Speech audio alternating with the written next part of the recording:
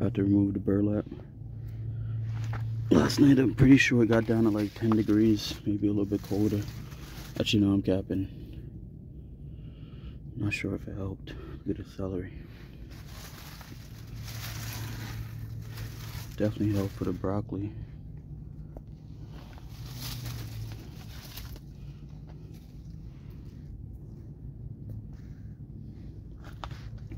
See how the kale is like curling up? Even has like frost on it.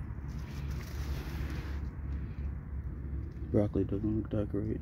Needs this one. Those ones are just straight up flourishing. Got the spinach looking bang bang.